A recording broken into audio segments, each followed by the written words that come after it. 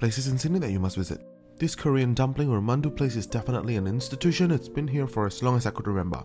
They're so packed with fillings and the prawn one is truly a must order. This kimchi meat one is also so tangy and savory. Yum. They're also known for their cold noodles, seafood and beef noodles. Seriously amazing. This is the mandu in Strathfield.